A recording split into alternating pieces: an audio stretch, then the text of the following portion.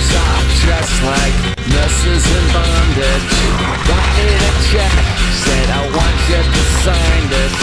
Union boys standing next to the rafter. There's gonna be a strike and you ain't gonna stop us. Three men standing and they love what they do. You won't see it coming cause they